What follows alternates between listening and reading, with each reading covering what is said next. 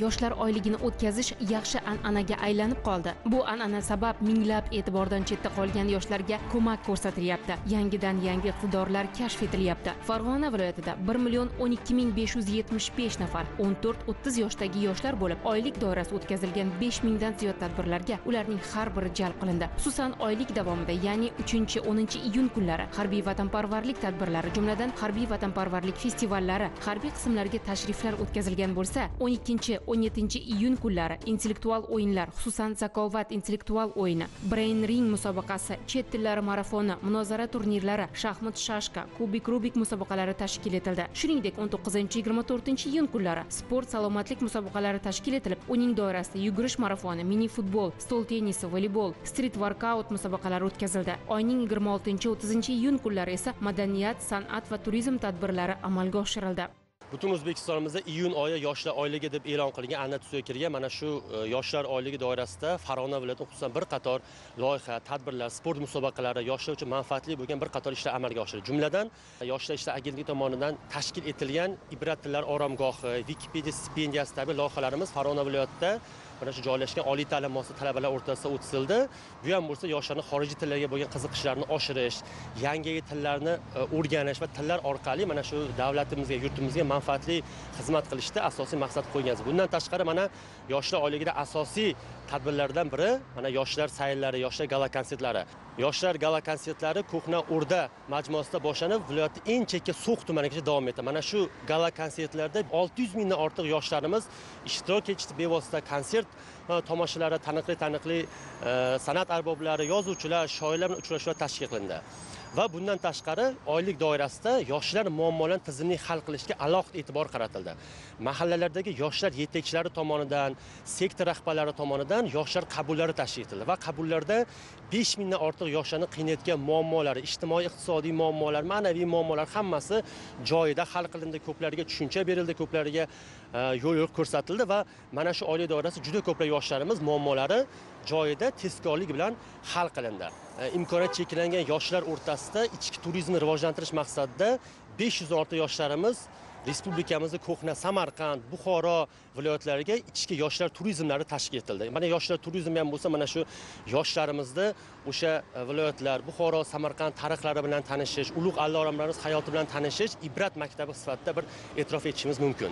Umumiy viloyatimizda yoshlar oyligi doirasida besh mingdan ortiq ma'naviy ma'rifiy sport tadbirlar o'tkazildi bu har bir mahallagacha tushib borganmiz. Viloyatimizda bir ming oltmishta mahallani har birida yuqorida sanab o'tganimdek loyihalar sport musobaqalari tadbirlar uchrashuvlar tashkil etildi va jami yoshlar oyligi doirasida sakkiz yuz mingdan ortiq yoshlarimiz bizda faol ishtirok etishdi. Oylik davomida viloyatdagi o'ttiz bir ming ikki yuz ellik ikki nafar ya'ni og'ir toifaga kiritilgan yoshlarga alohida e'tibor qaratildi. Ular bilan manzilli ishlash maqsadida to'rt yuz ellik yetti nafar viloyat tuman shahar sektorlari korxona va tashkilot rahbarlariga biriktirilib ularning har biri bilan alohida ishlash tizimi yo'lga qo'yildi.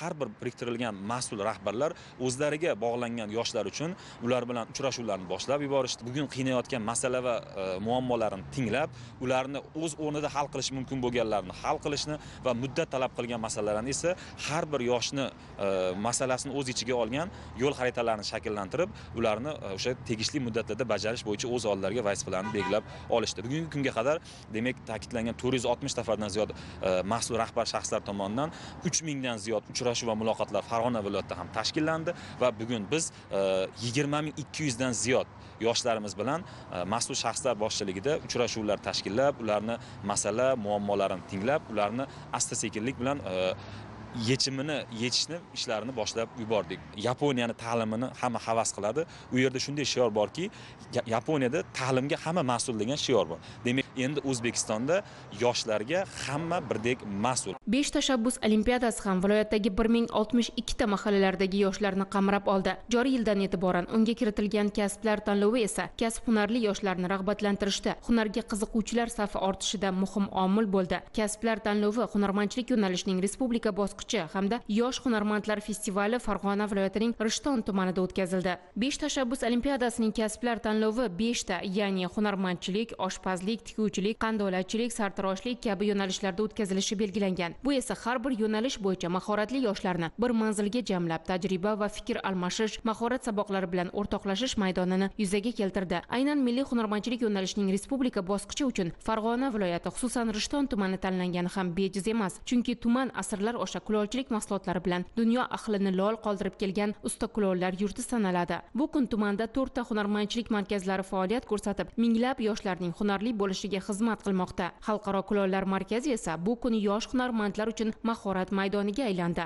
Yurtimizning barcha hududlarida o'ziga xos an'analar bilan rivojlanib kelayotgan zargarlik kandakorlik misgarlik kulolchilik kashtadozlik gilamchilik kabi hunarlar bilan shug'ullanib kelayotgan ustoz shogird an'analari asosida hunar o'rgangan. Shuningdek ustazoda va hunar sulolalari vakillari bo'lgan yosh hunarmandlar uch soatlik vaqt mobaynida o'z mahoratlarini namoyish etishdi. Har bir yosh hunarmand o'z yo'nalishida bejirim mahsulotlar tayyorlab hunarning qay darajada ustasi ekanliklarini ko'rsatishdi. Yakunda g'oliblar munosib rag'batlantirildi. Qalpog'iston respublikasi qo'ng'irot rayoni azatliq mahallasining glim to'xu bag'dari bo'yicha qatnashdim. Ham birinchi o'rin yuz millionda o'tib oldim.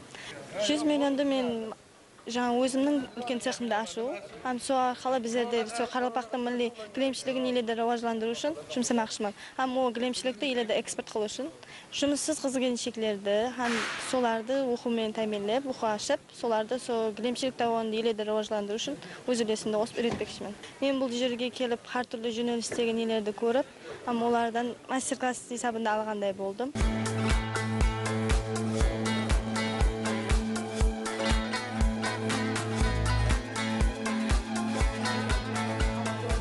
Mana bu yil uchinchi marotaba an'anaviy tusga kirgan besh tashabbus olimpiadasi besh boshda o'tkazildi va viloyatimizda mana shu bu yilgi uchinchi marotaba o'tkazilgan besh tashabbus olimpiadasida to'rt yuz o'ttiz mingdan ortiq yoshlar mana ishtirok etishni ro'yxatdan o'tishdi. Va mana shu besh tashabbus olimpiadasini oldiga qo'ygan eng katta maqsadi bu chekka chekka hududdagi iqtidorli sportchilarni madaniyat sohasida it sohasidagi yoshlarni qo'llab quvvatlash ularni iqtidorlarini namoyon qilish ularni mana shu mahalla sektor tuman viloyat respublika boshida ishtirok etishini ta'minlash asosiy vazifa hisoblangan va quvonarlisi bu yilgi besh tashabbus olimpiadasi farg'ona viloyati yoshlari jamoali yigirma sakkizta medalni qo'lga kiritib respublikamizda faxrli o'rinlarni qo'lga kiritdi bir bundan tashqari yoshlar ishlari agentligini asosiy maqsadi vazifasidan kelib chiqqan holda yoshlarni huquqiy savodxonligini oshirish maqsadida ularga siyosiy bilan berish maqsadida yoshlar va qonun mening birinchi ovozim kabi loyihalar o'tkazildi mana shu loyihalarda ham ikki mingdan ortiq yoshlarimiz ishtirok etishdi albatta yoshlar oyligi doirasidagi tadbirlar barcha toifadagi yoshlarni o'ziga chorladi. Yosh davlat xizmatchilarining zakovatdagi bellashuvi ham shiddatli kechdi. Zakovat intellektual o'yini juda ko'pimiz bilamizki e, o'quvchilar talabalar yoki norasmiy sektorlar o'rtasida o'tkazilgan bugun davlat xizmatchilari o'rtasida o'tkazilishi ham bejiz emas ya'ni e, o'ttizinchi iyun yoshlar kuni munosabati bilan bugun farg'ona viloyatida ilk bor ikki yuz ellikdan ortiq yosh davlat xizmatchilari o'rtasida demak zakovat intellektual o'yinini o'tkazmoqdamiz. Davlat xizmatchilariga bugun savollar shunaqa darajada berilyaptiki tafakkurini charxlovchi davlat xizmatiga oid va e, davlat xizmatchilarini odob axloqiga oid davlat xizmati to'g'risidagi qonun doirasida va yangi qabul qilingan konstitutsiyamiz doirasida bugun juda yam qiziqarli savollar ishlab chiqilgan. Bu albatta ishtirokchilarimizga juda yam ma'qul kelyapti. Davlat organlaridagi iqtidorli professional tezkor va samarali davlat xizmatchilarini shakllantirish hamda yangicha fikrlaydigan tashabbuskor el yurtga sadoqatli yosh kadrlarni saralab olish maqsadida o'tkazilgan zakovat intellektual o'yini yoshlarning haqiqiy bilim maydoniga aylandi. Zakovat o'yini ayniqsa davlat xizmatchilari uchun juda ham yaxshi bir turnir chunki davlat xizmatchilari jamoa bo'lib ishlashadi o'zlarini tashkilotlarida va E, belgilangan vaqt mobaynida berilgan topshiriqni samarali bajarish ular uchun eng muhim jarayon. Mana shu jarayon uchun zakovat o'yini ayniqsa yordam beradi va bugungi savollar ham davlat xizmatchilariga yaqin bo'lgan mavzulardan. E, misol uchun davlat fuqarolik xizmatchilarini odob axloq qoidalaridan yoki biz o'qigan mashhur asarlardan savollar berilyapti. Davlat xizmatchilari savollarga yaxshi javoblar berishyapti. Davlat xizmatchilari o'rtasidagi bunday turnirlar kengayib boradi va bu albatta davlat fuqarolik xizmatchilarining keyingi faoliyatlarida yaxshigina natija beradi. Yosh davlat xizmatchilarida ham tajriba ham mantiqiy fikrlash ham kreativ fikrlash ham bor. Bu ularga juda katta yordam beryapti. Viloyat hokimligi hamda davlat xizmatini rivojlantirish agentligi farg'ona filiali hamkorligida tashkil etilgan o'yinda 35 ta jamoa o'z bilimini sinovdan o'tkazdi. Murosasiz kechgan bahslarda zukko va bilimdon davlat xizmatchilari bir biridan qiziqarli savollarga javob izlab o'z topqirliklarini ishga solishdi. Zakovat intellektual o'yinida haqiqatdan mantiqiy o'ylanadigan davlat xizmatchisiga mos savollar tayyorlangan biz jamoamiz bilan faol ishtirok etyapmiz. Davlat xizmati xodimi e, biladigan bilish kerak bo'lgan savollar tuzilgan. Raqiblar endi o'ziga yarasha hammasi davlat xizmatchisi hisoblanganligi uchun bilim saviyasi yuqori darajada. Biz jamoa mana boshlangandan baqasiga aktiv faol bir birimiz fikrimizni tinglab bir birimizni javobimizdan e, fikrlashib javob berishga harakat qilyapmiz. Natijalarga yuzlanamiz endi xudo xohlasa e, savollar bizni ish faoliyatimizdan kelib chiqqan holda tuzilgan ekan juda yam qiziqarli savollar. Biz va bunda biz o'z bilimlarimizni ishlatgan holatda sog'lom raqobat muhitida o'tayotgan musobaqada qatnashyapmiz va bu juda ham maroqli bo'lyapti. Bunday musobaqalar kelgusida ko'proq tashkil etishni e, tarafdoriman. O'tkazilgan yoshlar oyligi davlatimiz rahbariyati tomonidan yoshlarga ko'rsatilayotgan cheksiz g'amxo'rlik va berilayotgan imkoniyatlar yangi o'zbekiston haqiqatdan ham yoshlar mamlakati ekanligini ko'rsatmoqda. Yoshlar uchun keng masshtabda yuksak emotsiyalarga boy ommaviy tadbirlar gala konsertlarning o'tkazilganligi bu tadbirlarga markazdan tortib eng chekka hududlardagi yoshlargacha qamrab olingani yangi o'zbekiston yoshlarini haqiqatda birlashtirdi. Farg'onalik yoshlar ham bir makonda bir maqsad sari intilishga tayyor. Zero uchinchi renessans poydevori bilimli iqtidorli yoshlardir. Yoshlar oyligi esa minglab mana shunday iste'dodlarni kashf eta oldi.